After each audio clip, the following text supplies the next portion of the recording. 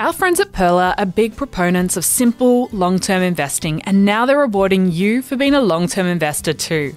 Pearler investors receive points every time they fund their account and invest. The more points you earn, the higher your chances to win one of their weekly prizes, or the big prize at the end of the month. To get started, check out the competition terms and conditions and open your Pearler account today using the links in your podcast player. This episode of the Australian Finance Podcast is proudly supported by Global X ETFs and the launch of the US 100 ETF, better known as N100. N100 offers Australian investors exposure to 100 of the largest non financial companies listed on the NASDAQ Stock Exchange. N100 focuses on innovation driven companies, providing a growth tilt to core portfolio holdings. You can learn more about N100, including reading the PDS and TMD, by clicking the link in your podcast player or by simply heading to globalxetfs.com.au.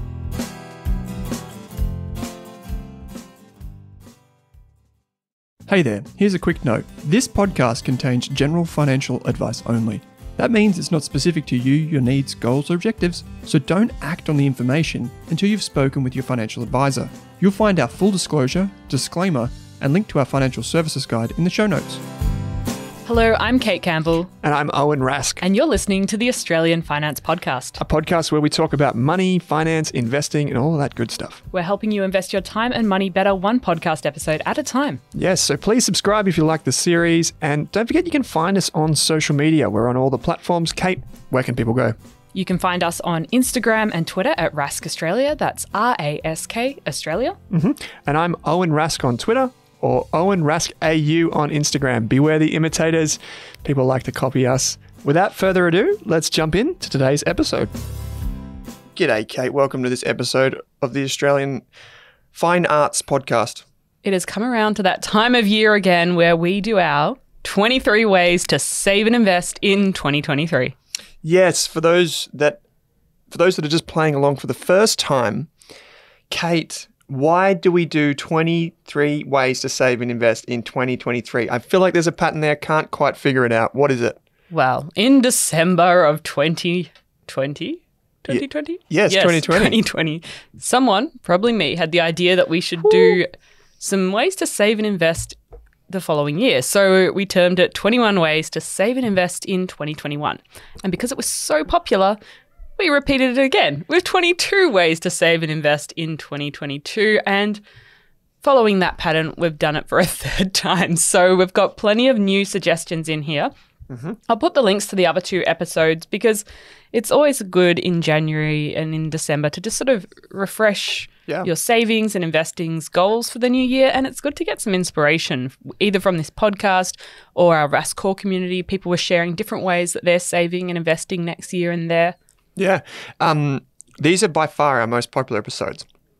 I should say, excluding the VDHG deep dive t- style stuff. This is the uh, these this is the good stuff. This is the cream on top of our podcast every year, and so you can go back to the other two years as well because a lot of them are evergreen, meaning that you can still take all of those ways to save and invest and apply them. In addition to these, so you'd almost have, I don't know, what's that like sixty six ways to save and invest. There you go, Kate. Some on air maths. That maths in quick maths. Well Yep. done. And I've uh, these have all been given to me through friends and family. Ooh. Either myself, I've tried them myself, or they've come from our community. So they worked for someone. They might not work for you, but they worked for someone at least once. Yeah. So just to just to clarify, we've got 13 ways to save and then 10 ways to invest. Obviously, obviously, if you listen to the podcast throughout the year, uh, there are many more ways, but this is just like a, a real snappy, punchy version. And there's also a document, like there's there'll be a link in the show notes where you can get this list, so you don't have to memorize everything. Um, you might even just take a you know some notes down in your phone or whatever while you listen, or if you're watching on YouTube, just have your notes app open um, and just maybe record a couple that you really like, or just get the the document that we've got to go along with this episode. So, Kate, Monique's off air. She's giving us a three minute uh, timer that no one can see because if we start rambling, we've got to get through 23. So, where do we start? Let's maybe we'll start with savings, but which what's number one? All right. this is not in order of effectiveness, but the very first thing here, which I know you had a few thoughts on, Owen, is having your own herb garden at home so you can have fresh chives and parsley in your scrambled eggs, maybe some basil when you're making pasta. Yeah, um, I mean, yes, I do have thoughts on this because I am trying this, and it is hard sometimes. The parsley grows like a weed, so you can just chuck that anywhere and it will grow. But you mentioned chives. Chives are surprisingly hard to grow sometimes. They get eaten by these little bugs, and it's anyway not a herb podcast. Um, but yeah, I think even rosemary. You know, rosemary is a really good one in all climates in Australia. Look at me putting my horticulturist cap for a moment. We're actually doing a hedge out of rosemary so that we can, because we love rosemary on lamb and all that sort of stuff mm-hmm. on potatoes.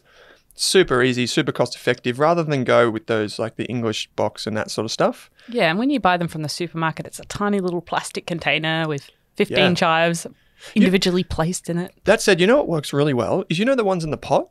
Mm. So you can get like basil in a pot because pa- basil doesn't grow in all parts of Australia very easily. So what you can do is you get the basil in a pot and you put that on your windowsill in like a very small plate of water, uh, and it can last a couple months. So you don't actually need to go full garden. You can just have some like a windowsill, uh, and it works really well. And you can just pick off a few leaves whenever you do your bolognese. Bolognese? I don't know how to say that, but um, yeah, I'll take it from Monique. there we go. So herb garden, Kate. Yeah. Do you have any herbs?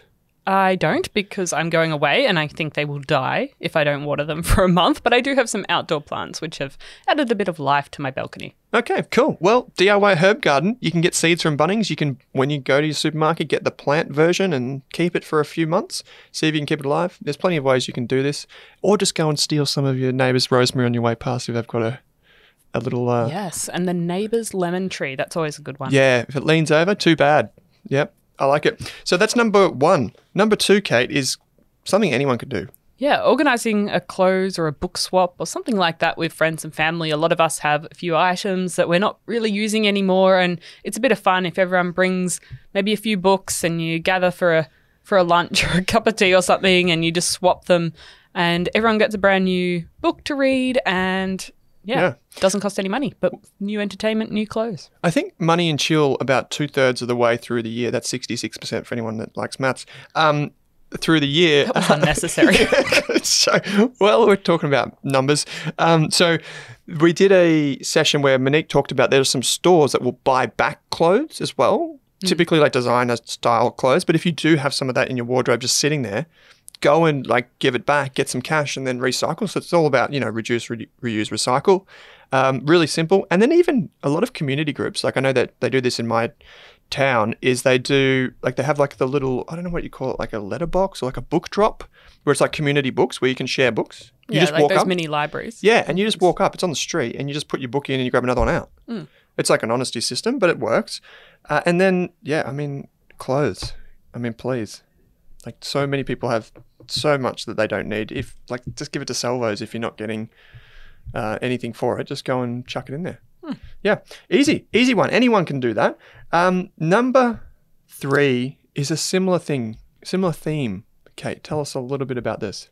Yes. So creating meals with similar ingredients instead of just hmm. having like five or six completely unrelated meals during the week. And so what this means is you reduce food waste. Say cauliflower is the feature ingredient for the week. Mm-hmm. You can use cauliflower in one meal as one type of ingredient. Maybe you've got roasted cauliflower salad in one meal, and then you also might do cauliflower rice with fish in another meal. So you can have use similar ingredients across different nights. So it just makes the sh- food shop more effective. I'm going to put you on the spot here. You love prawn toast. What would you use the prawn toast? Like, how would you marry prawn toast with something else? Like, where would you get the synergy in the food?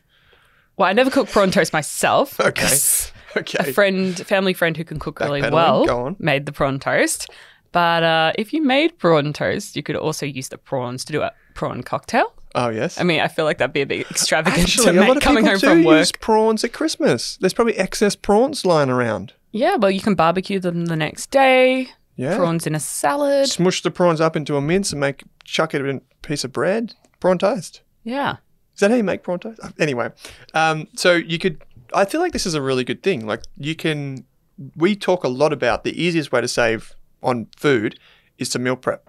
So similar ingredients, similar meals makes a lot of sense. Particularly if there's something more expensive.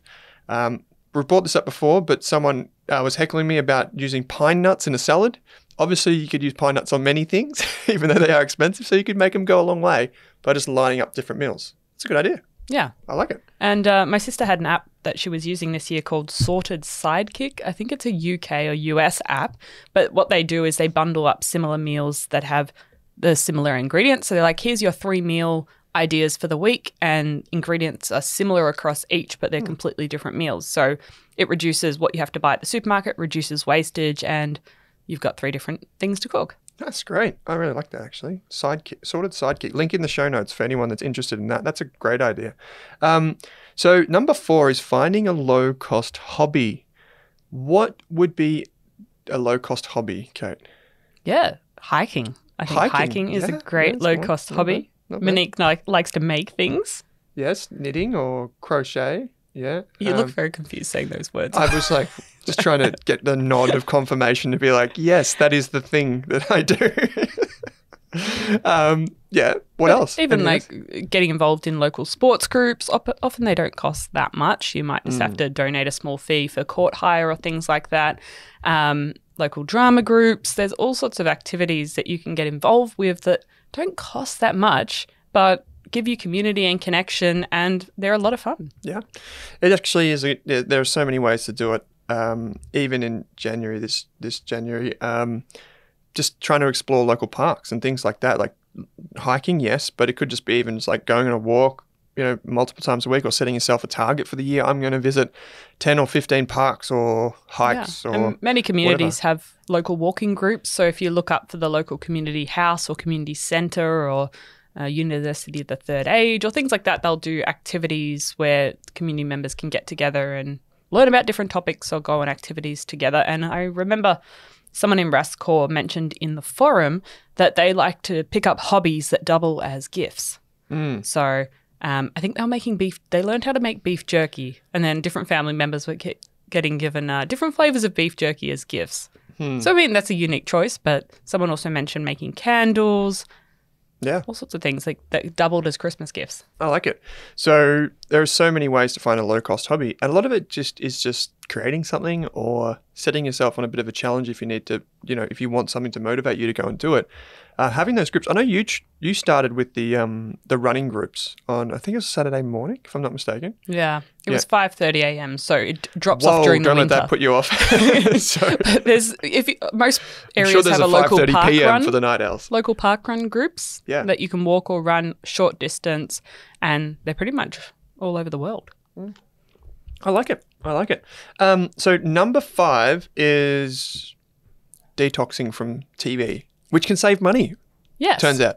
Yeah, so giving yourself a 30 day TV streaming platform detox where you unsubscribe from all those services, even YouTube Premium, Oh no. and you actually find some hobbies during the month or read some books or make the effort to go out and catch up with more friends that you haven't seen recently or find something new that you haven't tried before that's always been on that list of "I- I'd like to mm. give that a go. I'd like to write a song. I'd like to write a book. I'd Wow. like to join this group that you haven't done. Then you can you've got 30 days detox from TV that you can put that effort in. I like it. I wouldn't even know where to start to write a song. Probably just go over the piano and just bang down on the, the keys and see what happens. But um, Most people have something on that list or at the back of their mind they want to try, but they don't have enough time. And TV and movies kind of just suck a lot of time in our evenings. this is true. That's a great point. Like you can do anything. You can um, try and fit in a run. You can um, spend time with friends if you just check in. Like Christmas time is a great time of year, or around the break is a great time of year when you can take stock of like relationships and do I need to do better with this relationship? Do I need to do better with that one? And maybe that means just spending time with friends and family. Like just actually putting side time aside and being the one who does instigate things. Like does start the conversation. Hey, do you want to catch up? Hey, do you want to do this? Yeah, I found a lot of people just don't ask these days of do you want to do this activity? And so you have to be the one to instigate that if Yeah. you want it to happen. Yeah, I, I hear you. So, Um, but you can try 30 day challenges for anything. Like I've done it for exercise before, to start running, Mm. cooking, even. Like just give yourself little. They're quite fun. 30 days is a. It's not too long, but it's also good enough to actually set something up to do a 30 day challenge. I'm actually catching up with a guy tomorrow. His name's Nick Crocker. He's like one of the, the best uh, venture capitalists in the country. uh, maybe in the world. And uh, he has he wrote this article. This is a digression in 2013 called "The Elephants."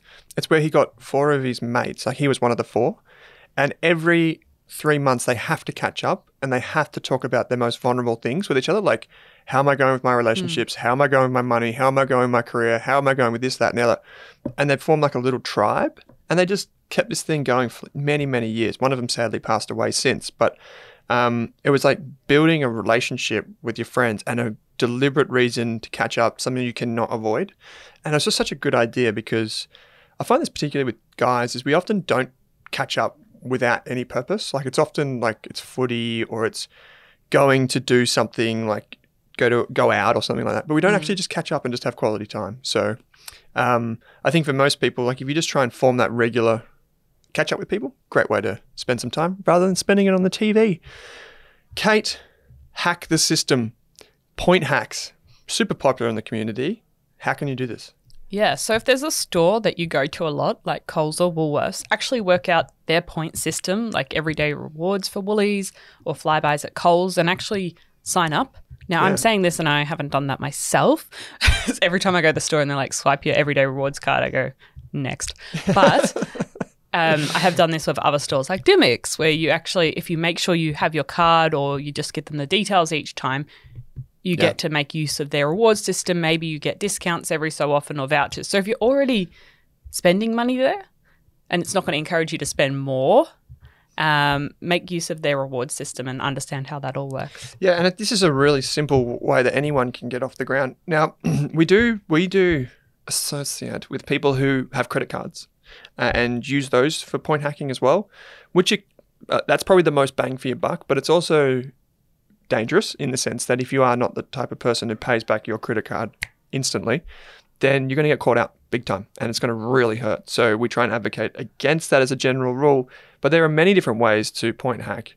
Um, you know, we talked about one in 2022 where you could just download the 7 Eleven app uh, and connect it to your velocity and you get 11 times the points and seven times the points if you just fill up. And that was just a free kick. You know, so just looking around and paying attention to these things. Yeah, if you fly a lot, making use of either the Velocity or the Qantas Frequent Flyer programs because they, they link up with heaps of different companies now. Yeah, we, we talked about this. Well, we went for a long time without actually having anything for all of the flights that we had to do for recordings and stuff. Um, I can't believe we went that long without actually just switching it on, like just putting the number in. Like it would have saved us so much money. So anyway, that's it. Just point hack. Um, great. And also like those cash we've talked about it a lot in the past year, but cash rewards and honey and things. So every time you're going to buy something that's kind of Mm. more than fifty dollars, maybe Google to see if there's a discount code. It's even worth asking if it's a large company. Like I probably wouldn't do it to a small business, but if it's a large company, they've often got a discount code active somewhere, so you can message their customer support and say, "Oh, is there anything? If I'm going to purchase something today, is there any discount codes that might be active for me?" Yeah. Um, the honey uh, extension for the browser, I reckon that probably saved me four hundred dollars this year. I mean, I didn't like it. Just is in my Chrome browser. Didn't do anything. Just saved me four hundred bucks. Yeah. It doesn't cost you anything, so may as well do it. And if you're booking a big trip and you're you know Oh, you're going to be booking lots of hostels and activities, make sure you get cash rewards because I've set I've got a few hundred dollars cash back just from making sure I used it when I was going to Hostel World and booking.com and all those other websites. Kate's gone on a hostel tour of Europe. Um, so anyway, um, no, the other thing uh, I would add is we've been using we we don't have there's no like affiliation here, but we've been using Raiz rewards for our bookings for our hotels for work. Super simple. Um, get a few hundred dollars invested in some ETFs for us for nothing. All right, number seven. If Sell you it. haven't used it for 2 years, try selling it somewhere. Yep. So what exactly are we talking about here, Kate? So, walking around your house, and, and this was a suggestion from a family member as well, chances are you've got a few things lying around that are collecting dust that have stayed in a box for a while. Maybe you moved five years ago and there's still things that you haven't unboxed from that, that box at the back of the wardrobe. So, there might be a few things that you can go, all right, this summer I'm going to get a few of these items that I haven't actually used for a few years. I'm just holding on to because I am, and put them on Marketplace or Gumtree. And even if you don't sell it, is there someone in your f- friends, family, community that you can give that item to? Yeah, re repurpose it. Um, I remember a mate of mine. I won't name him because it's very shameful. But um, he uh, he didn't know that you could sell stuff online. So, and he's a finance guy. That's what makes it funny. Uh, so it's like, dude, you can just sell this stuff. Just like you can sell your shares, you can sell your unused stuff from the back of Yeah. the wardrobe. Um, but no, I, I, I just it's it's actually a super easy thing to do with Facebook, in particular Facebook Marketplace. You get a few scammers on there, so don't be sending your credit card details anywhere. But um, yeah, you can like you can liquidate things around your house. Like I was just thinking as you're saying that, I've got an old. If anyone wants to buy a, a Nectre 15 fireplace that I bought during COVID, which we're going to install. Don't know, but we're not putting it in anymore. So just let us know. Really specific. Yeah, it's a fireplace. So if anyone wants that, um, I do have some old power tools actually that I did binge on and I no longer need. So I'm thinking there's probably like a thousand bucks that I could recoup and then go and spend it on something I want to spend it on, or even getting away for a couple of nights. That's cool. Okay, so sell it online. Use Facebook Marketplace or Gumtree or even your local community groups. Like a lot of there are a lot of Facebook groups, Reddit groups, like all these types of things that allow you to connect with people in your area, particularly if you're in a regional town. I remember my sister sold all of her Lego. Um, I think it was like 250 bucks just for nothing. Like Lego is valuable though. Lego is like, At Gold. Myers, you see the price of some of those huge kits. It's crazy. yeah, it's insane. Um, don't lose a piece. So, number eight is hunt for food that is close to expiring, maybe not expired, but close to expiring to see if you can scoop a bargain. Yeah, so a lot of supermarkets, if it's maybe a couple of days out from its expiry date, Discounted. discounted. Monique reminded me that there's often bargain sections at the supermarket this year. Yeah. Yeah, every year, in fact. yes. so- I hadn't really thought about it before. Um, and but also at, at markets, often there'll be close to closing time, like Prahran Market in Victoria. Um, there'll be deals at the end of the day when they're trying to get rid of the bread, for example. I feel like it was Monique, your grandma or someone that would go to the market, or maybe it's not. Maybe I'm just like so stereotyping. Anyway, back to uh, that wasn't the case, but people would go, like, would know when, say, like bakers or butchers or local community, like farmers markets, would know when it ends, and then they would go at the end of the day. And because the people don't want to take it home or they have to throw it out, they'll be like, I'll take all 10 loaves of bread for $5 or something like this. And you just basically take it from them. And then you can repurpose it. You can make cakes. You could, um, you know, make dishes that you probably need a lot of ingredients for. Even like, I remember in Victoria, there's the Dandenong market. Dandenong um, is a really like culturally rich area. And um, there's all different like uh, ethnicities there that, that have different meals and different like fruits and vegetables. And you go there and you can get like a box of mangoes for like three dollars. So it's like if you wanted to, I don't know what you make with mangoes, but surely something. Mango lassi yes, or mango smoothies. mango smoothies. Like you can go there at the right time of the day and save. So. Um, yeah, I was very fortunate, Kate. I used to be a, um, a manager of an IGA supermarket uh, when I was going through uni, and all I got to see like all of like the meats that were going to be discounted or the fruit and veg, and I'd be like, well, I'll take that. Like at the end of my shift, I'd be like, yeah, I'll grab that, um, because then I just eat it that night or the next day or freeze it. So simple. Speaking of, Speaking of, Number the next nine. one is buying fruit and veggies that are in season. And my mum's told me about this for ages, and I haven't actually gone and investigated. But there's guides online. I've put one in the link, Yeah. uh, the link document, which is a seasonal produce guide. So you can get to know in each season of the year what is the fruit and veggies that are in season, what are grown locally in Australia that are often cheaper in the supermarket. So from December through to February, we've got apples, blueberries, blackberries, bananas, apricots, cherries, plums, nectarines, all of those wonderful stone fruits, the summer fruits. Everything, strawberries, please buy these because that means that they're getting to you fresher and there's more supply, so the prices are typically lower. Yeah, and they're great. often they're made in Australia. Yeah. and Yeah. they're not being stored in a, a cold factory for months and months and months. And even over the summer, it's really fun. If you want an activity that doesn't cost too much money, going berry picking, there's lots of blueberry farms and cherry farms. I know in Victoria alone that you can go and make a, a day trip out of it, maybe go somewhere in the regional areas of your state and actually pick some berries. And usually it doesn't cost as much as it will on the supermarket per kilo. Yeah, great. And yeah, have a bit of fun way to do it. Why not? That's great. So number 10 is pretty obvious. Like if you listen to a finance podcast and there's like a savings thing and they're like, don't try and lower your bills, like your utility bills, uh, you're probably doing it wrong. So this number 10 is pretty generic, but it's by far probably the most influential, which is just get your utility bills and all of the bills that are like subscription or automated down. Yeah, I think everyone, including myself, needs that annual reminder that any of those big bills that you're paying on a monthly or a quarterly basis, can you check in and see if you can get a better rate with your existing provider, with another provider? Maybe there's a better option for your new circumstances. You're not quite using as much internet as you were before, so you don't need that super expensive plan. Or um, there might be a better um, electricity provider for your area. Yeah. Yeah, easy. And we've talked about this before. State governments, there's a website where you can go, you can find like on every state government basically has incentives for energy, for various things. Sometimes you get free money just for checking your if there's a better deal. Like Yeah. literally you get just a better deal.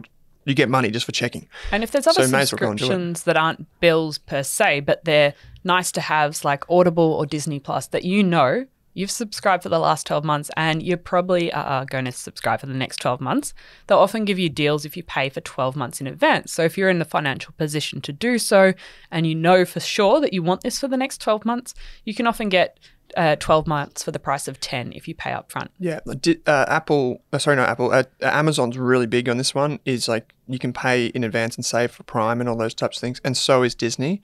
I think the last time I checked, Disney was thirty percent off if you paid in advance, hmm. which is big. Yeah. like you know, it's fifty bucks, and you're going to use it anyway, so you may as well just do it. Yeah, you just want to be sure that you're Yeah, Yeah, often apps as well. Subscriptions in apps will have quite heavily discounted yeah. annual subscriptions. Most subscriptions these days offer a buy it annually. The thing that it really annoys me is like when you go to websites and they're like thirty nine ninety nine a month, paid monthly, but uh, sorry, paid annually, but it's monthly. Like it's expressed, it tries to confuse people. Like it, it's saying like it's an annual subscription, but if you have to pay the annual to get that rate, it's only when you toggle like the thing Yeah. that you get to see. It's like oh, forty nine so dollars they if you lock pay you in monthly. for twelve months, but Yeah, but they they quote it in monthly, so just pay attention to that. But um, yeah, there's o- oftentimes a massive discount with most things to pay annually, so give it a crack. Um, potluck with friends, Kate, number eleven on our list of ways to save. Yes, and this is one that has saved me plenty of money this year. And it's having if you've got a group of friends that are happy to not always go out for coffee or not always go out for meals. And just share between different people's houses or local park, especially in the summer. And maybe one time you do a barbecue and everyone hmm. brings different parts of a meal. So instead of having to every pay everyone pay 20 or 30 or 40 dollars a head going out to a restaurant you might only have to pay 20 dollars for your designated item like the burger buns Yep. A question for you: Why do you think it's called potluck? I've got the answer in front of me. I've just googled it. I was trying to think of why it would be called potluck. i don't know people bring things in a pot and if you're lucky it tastes good The word potluck appears in the 16th century English work of Thomas Nashe. Ooh, where are we going with this? And used to mean, quote, food provided for an unexpected or uninvited guest. The luck of the pot. There you go. So, the luck of the pot. there you go there you go. Not everything tastes good. You learned something new on the show today. Um, potluck with friends. Why not? Give it a crack. i find that's a lot more enjoyable too you know, Yeah. often better conversations more memories Yeah, and it helps the host of the whoever's doing it. And if you've got like um like sh- like sometimes people do this with their street at Christmas, like they'll have like a street party kind of thing where they have like everyone brings something to the table, like some maybe there's a barbecue or something like that. You bring something unique along. It's a good way to keep costs down and Yeah. have a social event. even this Christmas, I'm saving money because I'm hosting Christmas breakfast. I'm borrowing a trestle table from a neighbor. I've borrowed a Christmas tree as well. I've borrowed the Christmas decorations. Uh, I've delegated a lot of the different components of the breakfast. So, all in all, hosting is going to be quite affordable for me. I That's think I just have to buy some eggs. That's pretty good. Yeah, nice. Please go cage free. Anyway, so uh, in at number 12, we've got make money from your spare things, or this could be think of Airbnb. Yes. Spare space, spare objects. You got a spare room, a garage, a pool, a car park, a caravan, a lawnmower. There's websites that you can rent anything these days. So if you've got something that has value that you're not using all the time, find some websites. I've included some links to different things.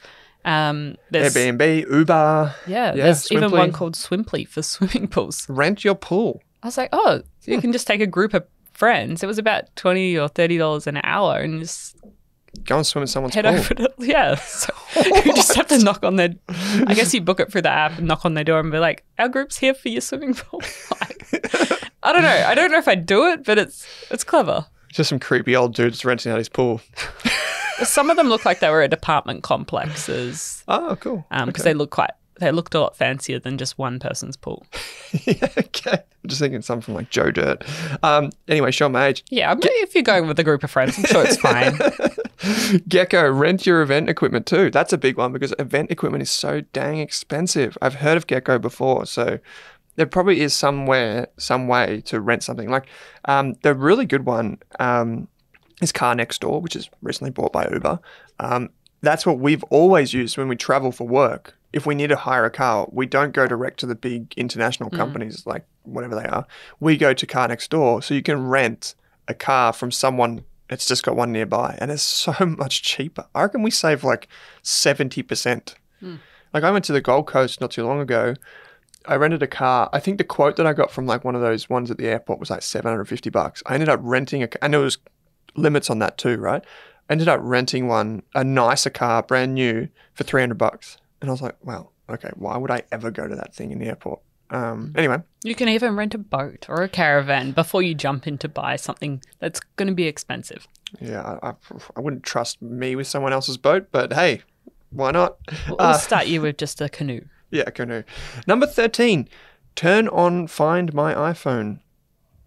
Yes. This, is, this one caught me off guard, Kate. this one really caught me off guard. yeah, I mean, Tell me a story around each this. year, I think my parents like to contribute at least one thing to this episode. Like in the past, it has been Split the coffee. buy a large coffee and split it between two people, which Famous. is cheaper than two small tip. coffees. What is that is that has made the Australian Finance Podcast. Yes. So this year they went off on a road trip, and like always, my dad left phone on top of the car.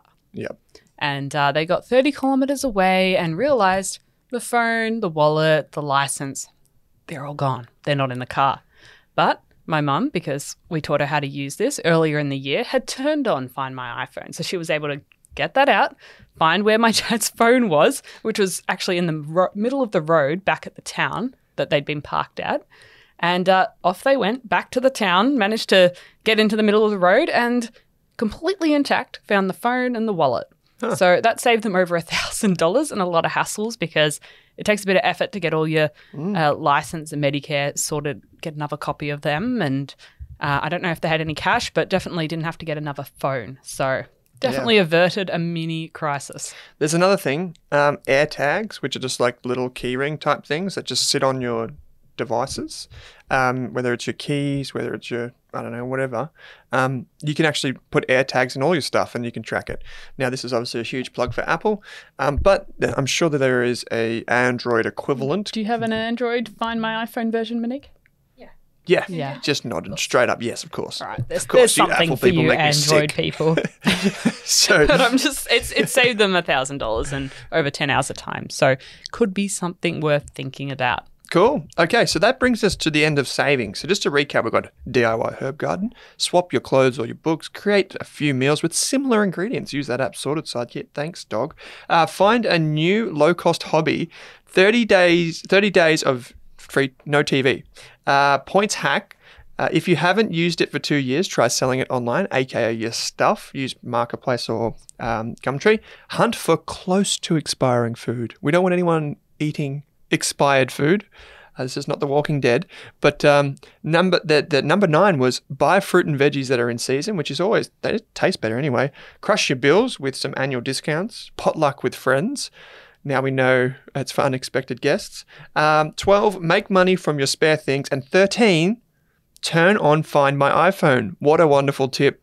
What a wonderful tip. If you're in the outback, turn it on. You never know where you might lose things. um, so, 10 ways to invest is what we've got in front of us now, Kate. Let's start. Yes. So the first one, which can be a huge win for many people, is focusing on crushing your debt first. Okay. So before you're jumping into everything else, if you have debt like a credit card debt or a personal loan, that's often charging anywhere from 10 to 20% interest per year. So that debt is growing, but not in a good direction. You want to focus on paying that off first Uh, and we've done some episodes on that. We've got a course, free course on paying off your debt because that will help you get to a firmer financial footing than focusing on, on the other stuff. You can learn about investing, you can do all of that stuff at the same time, but focusing on your debt is a really good way to invest in your financial future. Yeah, we always say this if you're paying 20% on a credit card, get rid of it because you're probably not going to get that from the stock market. So just get rid of the card first. And it might seem like it's a harder thing, it's not as sexy, but it is much sexier when you actually look at the maths behind it. So get rid of that. You also don't pay uh, in, you don't pay tax on saving money. That's one of the big ones where you should pay tax on any money that you make from investing. So uh, get rid of that debt. You'll feel better. You'll feel like a superhero once that's done. Um, trust me, I've been there with a personal loan myself. I know what it's like just to get rid of that thing. Actually, shout out to my mate Glenn, who probably won't be listening to this today. He'll probably be somewhere overseas, but um, he had a loan and he got rid of it. So congrats. Took him about a year, just under a year to get rid of it. He wanted to invest, but I said it's probably better to get rid of that thing first, and he did it. So he's stoked. He's so happy, and now he works more so he can keep more, which is wonderful. So Glenn, kudos to you, brother. All right, number fifteen is invest in your cybersecurity. Tell us about this, Kate. Well, there's been a few notable data leaks this year Yeah. and people getting hacked and Mhm. people getting scammed. So I think it's really important. You're building your financial future. How are you protecting it? So if your broker has options, can you add a stronger password? Can you add some sort of two factor authentication or um, an extra step that when you go to sell your investments, there's an extra step of security there. So if someone hacks and figures out your main password, have you got some extra security set up? Yeah, you can actually measure how long it takes to crack a password. And if you just have one of those like really simple ones without any like characters or whatever, you basically need like nine, I think you need like nine characters and also upper lowercase, blah, blah, blah, to make sure that the computer can't crack it in under a year. So, Yeah. um, I you- would, yeah, focus on a stronger password. You might have the same password for all your streaming services, but try and have a unique and strong password.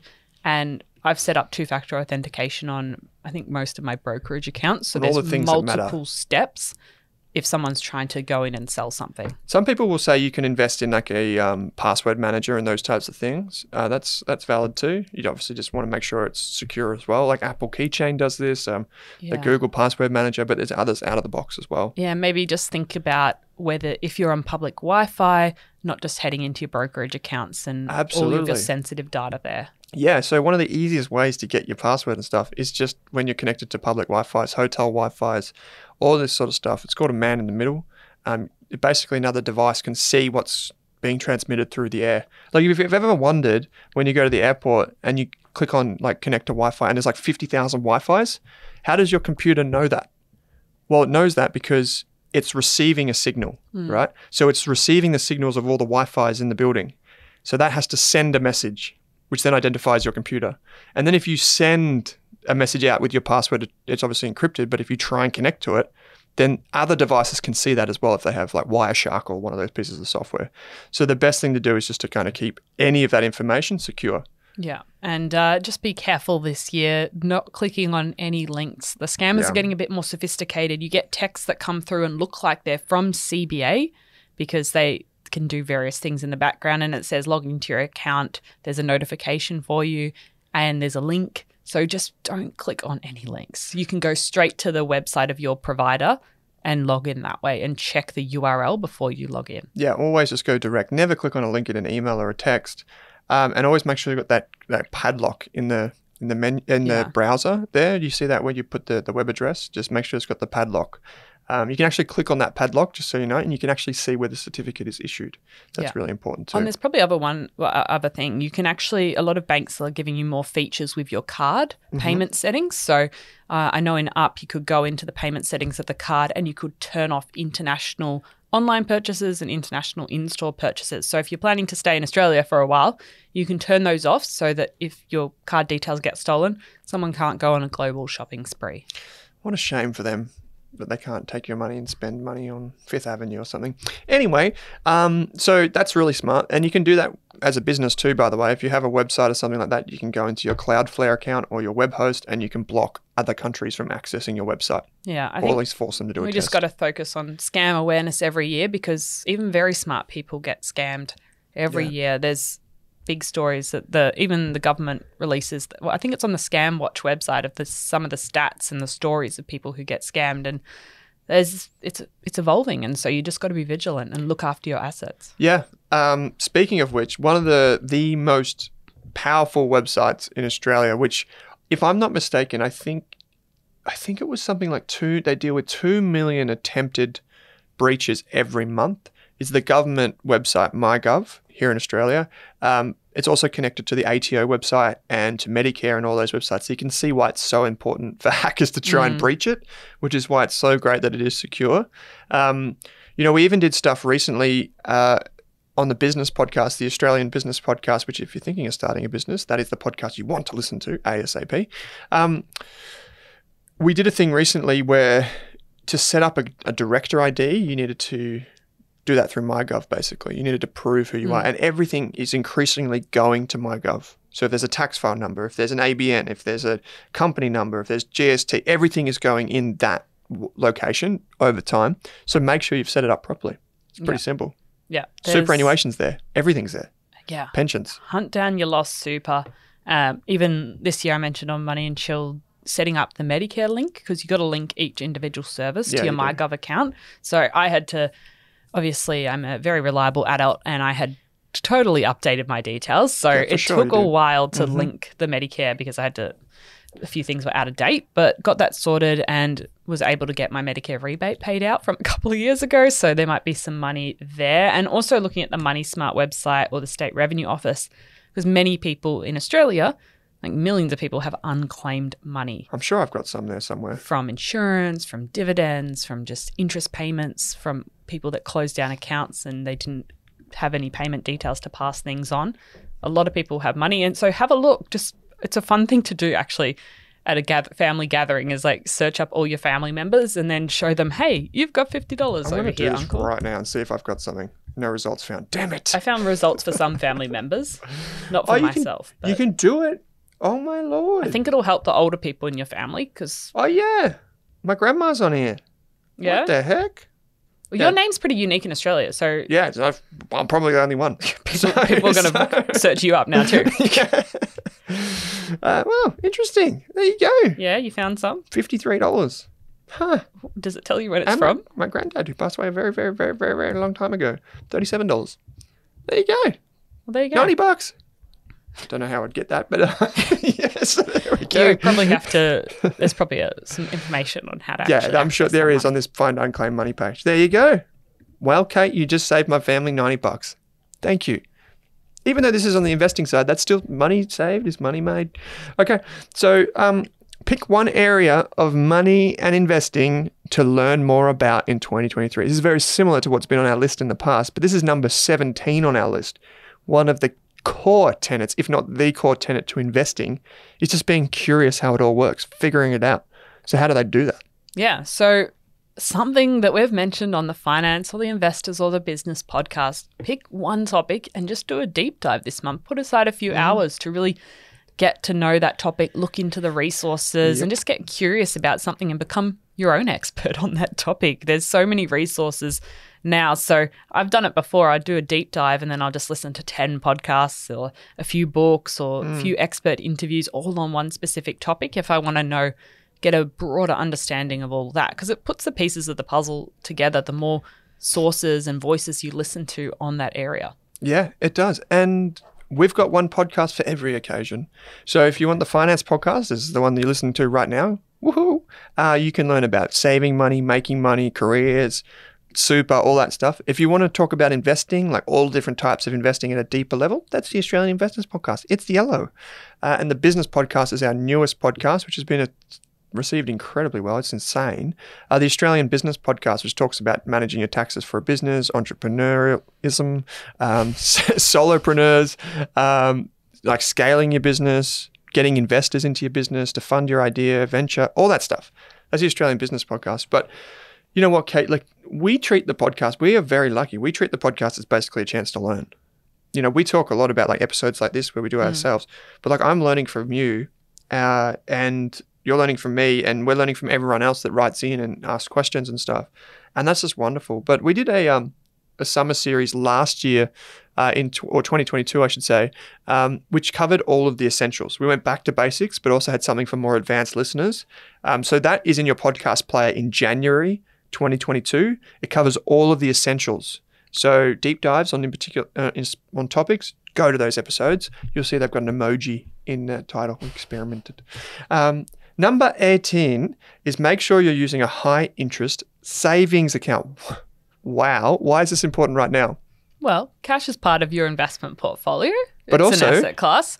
Interest rates are up Way up. and makes it tougher for people with a mortgage because I'm seeing my variable rate increase and increase and increase. Yep. But if you're a saver and you have a significant amount of money, especially an emergency fund that you've put aside, making sure you're in a really high interest savings account Yeah. anywhere like I'm seeing ones at 4%, some e- edging above that. Yeah. Um, you're going to get a lot more out of your money and it could be quite significant. And if you have like more money than just your savings account, like we have a lot of people that are 40s and 50s and 60s and 70s listening to the show, if that's you, you don't need to invest in stocks just to get a return anymore. That is what is incredible about this.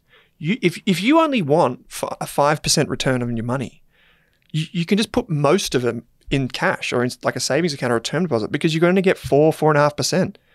Why would you take the extra risk of owning stocks if all you need is four to five percent? Just go and do that. Take the lowest amount of risk to get the return that you need.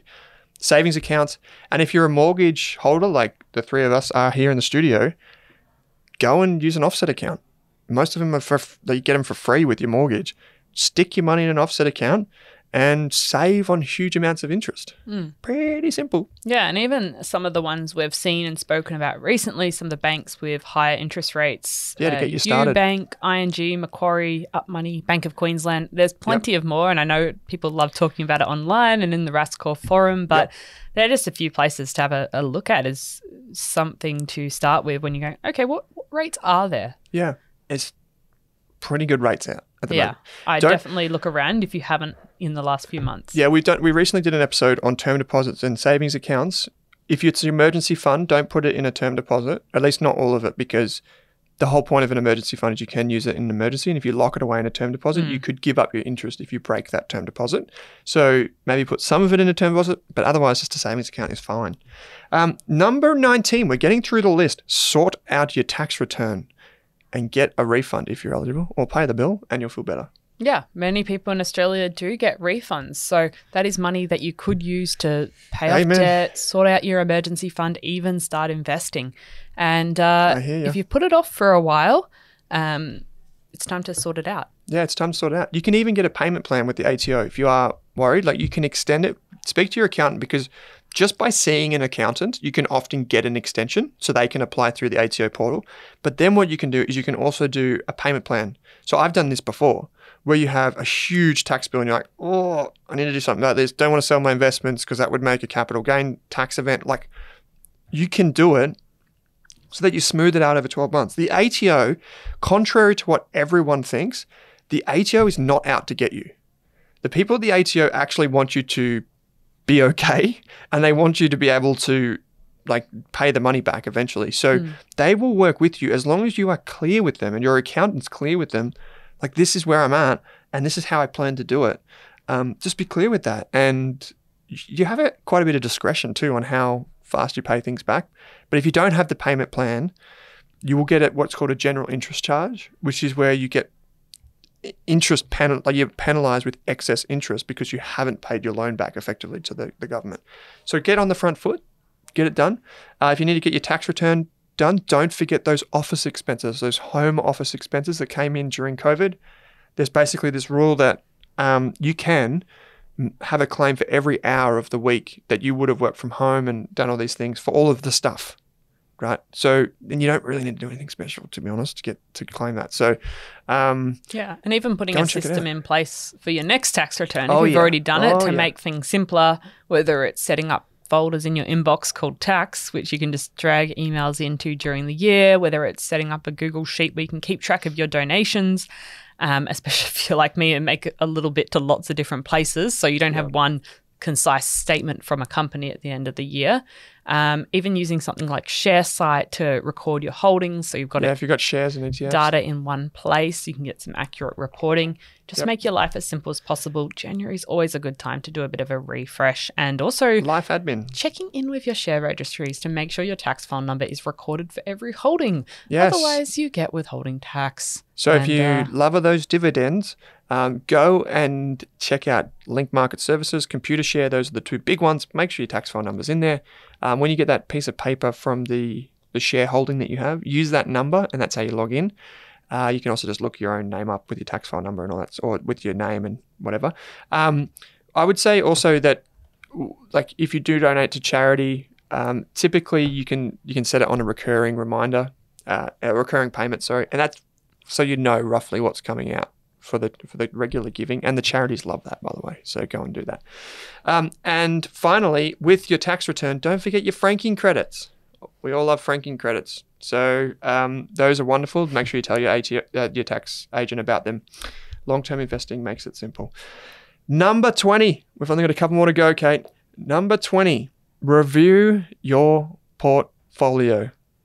Yes. I like this. So, the start of the year is a great time to do a comprehensive review of your portfolio, especially if you're managing it all yourself, and look at how you've performed. Give yourself an annual performance review for your portfolio. boy. so, have a look at how you performed compared to some benchmarks.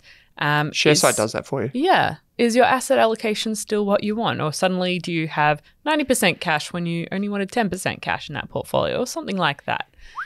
Yeah. Ninety percent cash. I don't know. That was a strange example, but I don't know how that would happen in one year. Yeah, but um, the point is the same. Yeah. Now's a good time. Check a in. review of your portfolio. Um, if you haven't done our ETF comparison activity and actually looked under the hood of the ETFs and gone, oh, what is this ETF actually investing in? Do I have any overlap? Do I have a lot of the same companies in one ETF that are also in this other ETF and I'm just overlapping holdings? Have I made my portfolio more complicated than it needs to be? Because simple often works better. Yeah, there's a uh, link in the, the, the, the article for this podcast. There's a link there that takes you to that document so you can go and do it. And go and check out the mini series, one of our most popular ever done. So Yeah. super easy to do, and we walk you through it. Number 21 to plan to fail is to fail to plan, or something like that. Um, sort out your investment plan for 2023, Kate. Yes. So, a good one, once you've done your annual review of how you went in 2022 and what your portfolio looks like, figuring Yeah. out what you want it to look like in the coming year and what other goals you want to achieve with your finances. So, um, if you've already put some goals in place, and they might be multi year goals because they're for 10 or 20 years, like reaching financial independence or making sure your super is fully funded for retirement, it's a good time to check in with your goals, maybe update your net worth tracker, see what you want to achieve during the following year. And I even, I often break them down. So instead of saying I want to invest, I want my portfolio to be worth this much, I'll say I want to invest this much this year because I can control Yeah. in many circumstances, unless unforeseen expenses, maybe my bathroom explodes, who knows what happens. That could happen. I don't know. surprise me, to be honest. But if something happens, there might be unexpected expenses. But working out, okay, so I'm going to invest $10,000 this year and I'm putting this much in this part of my portfolio, this much in this part, and even breaking down what that looks like on a monthly basis and whether I can automate any of the saving or investing parts of my goals. And even if you've got some big expenses that you know are coming up in 2023, um, making provisions or putting a plan in place for reaching those. Yeah. Uh, th- these two things review your portfolio and set an investment plan. People often feel like, oh, I, you know, I feel really bad because I haven't performed as well. Like I haven't done that good. I feel like my investment strategy is all over the place. I'm making it up as I go along. All these things like imposter syndrome. But I tell you what, like everyone's making it up basically, even the professionals. So the, the, the thing to keep in mind is that your investment plan will change over time. Your portfolio will change over time. And that is completely fine. Um, we talk about the core and the satellite approach, using the core to have very basic, long term focused investments. And we tend to use ETFs because they tend to make sense for that. Uh, but there's many different ways you can do it. It's just about having something, something written down, because that plan is when times get scary, when things go off track, when the unexpected happens, and it always does. It's it's just something to know why am I doing this? Where did I roughly want to be? How can I kind of get there? uh, in the best possible shape. And, you know, investment planning is really important. It could be as simple as like you said, putting down how much you want to invest. Like, don't anchor it to what your portfolio balance is Mm. because that you're not in control of that. But just you know, keeping it really simple uh, is is the best thing to do. And And even if you didn't achieve some of your goals from the past year, working out maybe Yeah. why didn't you quite achieve those targets? Were they too ambitious to begin with? Were you setting an amount you wanted to invest that was just impossible with your budget and your current financial situation? Or was there something suddenly unexpected that came up? Or were you just spending a bit more than you wanted to spend during the year? And maybe there's some levers you can pull, or maybe you're going to want to find some extra income sources or increase your salary during the coming years. So, um, doing a bit of review in terms of that and what your goals were and why you didn't achieve them, there might be completely reasonable explanations, or there might be some things that you want to work on because we can always improve in different areas. And one of the things that was in Annie Duke's book, How to Decide, was doing a pre mortem. So, thinking about what could go wrong during the year Yeah. and what are some strategies that you could think of implementing now that would potentially stop those things happening. Yeah. So, it's going, okay, we get to the end of the year and I don't reach any of my goals. What are all the reasons why? And what could I do about that now? Some things I can't do anything about, and some things I could. like 2022 is a really good example of this. The stock market fell. You know, that was that hasn't happened for a while.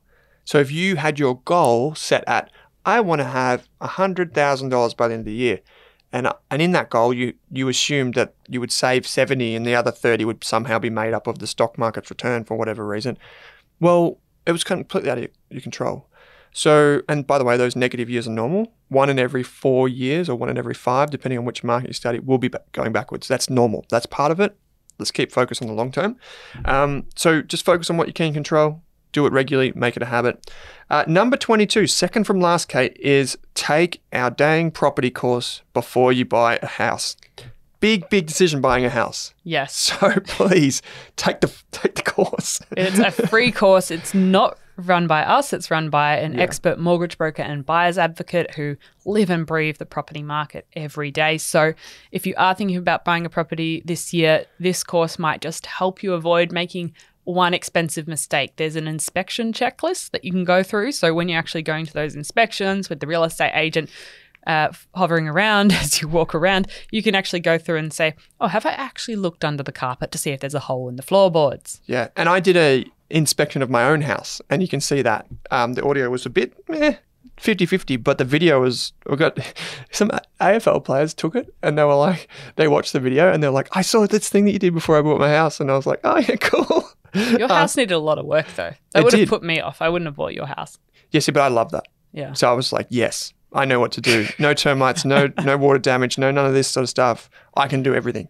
So that's why I was super excited about it. But that gives you an idea of like how you can add a few hundred thousand dollars of valuation uplift in if you know what you're looking for. And so like you can I should do an updated version of it now. But um yeah, you can you can look at that video and you can see like some of the things that I didn't do and some of the things we did do when we checked that. And you only have 15 minutes when you inspect a house typically. Like you can go back a couple of times. But in a hot market, you, you typically feel rushed. You feel panicked because this is a really nice house. Like everyone's going to want this. So you want to move quickly. So you need to know, okay, I've got 15 minutes or I've got 20 minutes. How am I going to check for these key things? Go and take the property course. Uh, there's heaps of downloads. There's heaps of stuff in there. Um, just go and go and check it out. It amazes me how quickly we make that property decision compared to the amount of time and thought I put into my ETF portfolio when the property decision actually has a much bigger impact on me financially. I, Well, it's I'm in crazy. debt, like for the first time ever. Well, this is crazy. Like we're talking in some cities, like five hundred thousand, a million dollars. Like some people buying crazy houses for their first house. Massive decision, Yeah. and and they might just be buying emotionally. When we talk about like all the stuff we need to do to talk about five hundred dollars of an ETF that's been around for dozens of years, you know. So go and like don't make the mistake on the first one. Um, go and take the course, run by experts. Uh, you'll see some stuff in there from me as well. Um, check it out; it's heaps of fun. Last, but not least, but not least, if you haven't already, Mm-hmm, 2023 could be the year that you start investing. yes, and you start investing with small amounts. You can start investing with $5, dollars Mm-hmm. $500, depending on what platform you use. and you might be trying something like micro investing or robo investing or just trying a brokerage account that seems fairly simple to you. We've got episodes and resources on all of this, but it's it's a process and it's a journey and if this is your first year of investing, you're going to need to put in some work and learn about it and understand some of those basic concepts. But it's also a fun journey and it can be really enjoyable to actually learn about how you Mm-hmm. can invest in companies and businesses and start building your wealth over the long period of time. Yeah, you can start now with less than five bucks. Um, you can start with five hundred bucks. You know, when we started, it was minimum five hundred dollars. Uh, i it's super simple. Now, Aussie Firebug, friend of the show, lovely fella, um, he he said at the Rask event recently. He said that you know the first hundred thousand. It sounds like a lot of money. I fully appreciate that, but uh, if you follow his story, it's pretty remarkable. The first hundred thousand is the hardest hundred thousand, and it's kind of at that point where people go, "This has been so hard. I haven't got anywhere." But then if you get to hundred thousand and your your portfolio has a four percent dividend, roughly, that's four thousand bucks. You're like, holy moly! I earned four thousand dollars for doing nothing, and that's when this snowball of, my gosh, look at this amazing thing called investing really starts to kick in. Yeah. It takes a few years to get there, but you can start now with just a few dollars. Like you're never going to get there unless you start. So take that step in, in 2023. Is it if this is your first time listening to our podcast, if this is your first time, you've never even invested, it's your first investment, everything is going to be okay.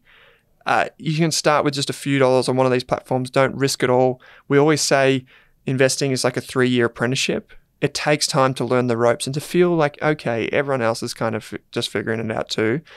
You can start with five bucks, add five bucks a week, add five bucks a month. Do whatever you want to do, whatever works for you. And don't overthink it because if it's only five bucks, you'll be okay. Even if it's 500 bucks or $5,000 in the scheme of your life, you're going to be okay. And this is what makes people wealthy. This is what gets them financial independence, not keeping their money in a bank.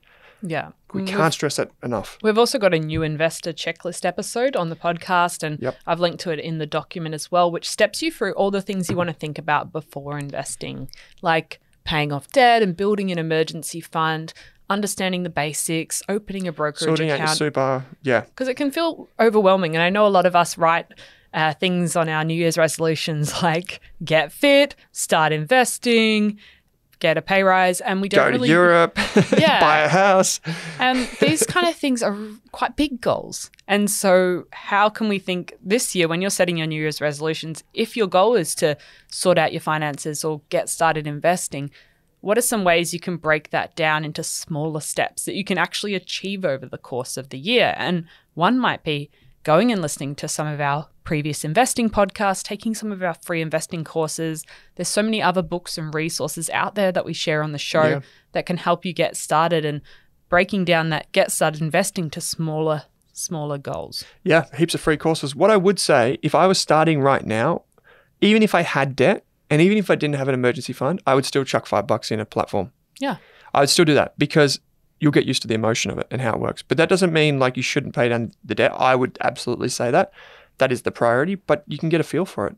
Whereas in the past, we used to have to do the thing called paper trading because there was no such thing as like a five dollar investment. Yeah, yeah. You you just have to like kind of like play the games that they were available online. Yeah, But so you can see your five dollars go to four fifty, then back to four seventy, then up to five ten. And Um, before you start putting serious money in, you can sort out your super. You can get on top of your tax. You can consolidate your debt. You can start to pay down your, your debts. You can um, speak to your accountant or find one. There's so many things that you can do. You can try out multiple brokerage accounts. You can point hack. You can do all of these things without it costing anything. You know, and that's the that's the beauty of all the things that we've got on the list today. So just to recap the final 10 from our list, the 10 ways to invest. And so investing is, you know, we say saving is a form of investing. So crush your debt. Invest in cybersecurity, which is really important, particularly after all the things that have happened in Australia. Set up your MyGov account so that everything works and you get your rebates, your, your tax file numbers are in the right places. Pick just one area of money you're investing. Maybe it's ETFs, maybe it's super, maybe it's like minimizing taxes. Pick one thing to learn about this year and become an expert in it. You'll have that for life.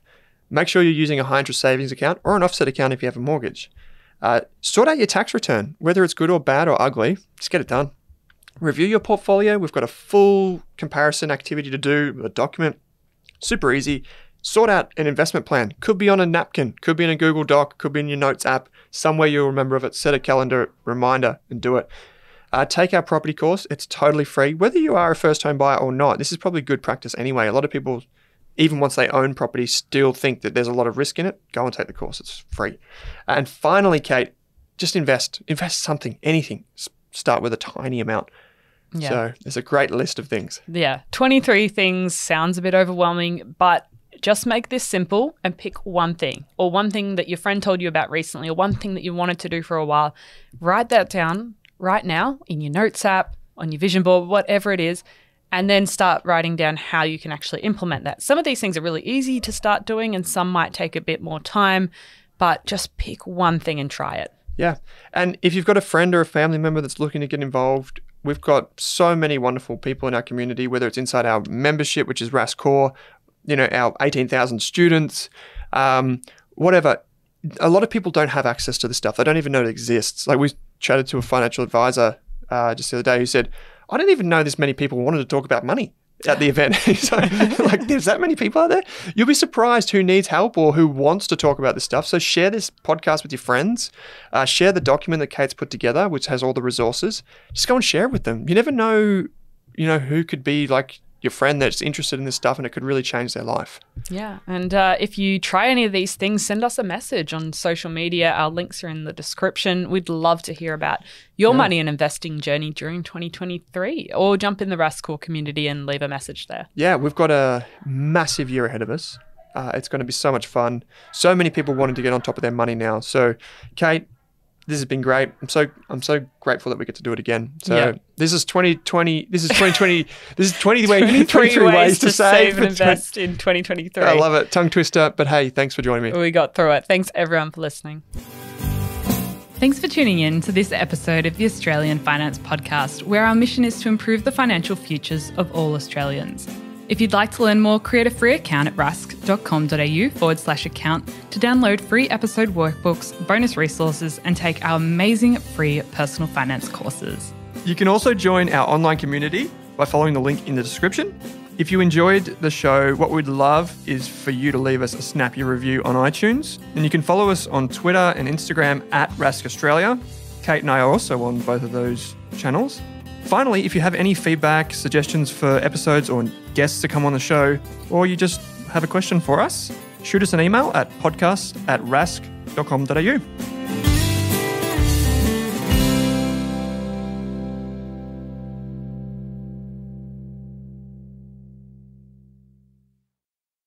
This podcast was proudly sponsored by InvestSmart's Bootcamp for Beginner Investors. Build your investing confidence for only $49.50. Learn what it takes to be a successful investor with InvestSmart's Bootcamp for Beginners. This online course is self paced over three months with live weekly webinars designed to help you achieve your financial goals and create wealth. To start your investing journey today, head to investsmart.com.au slash bootcamp or simply click the link in your podcast player.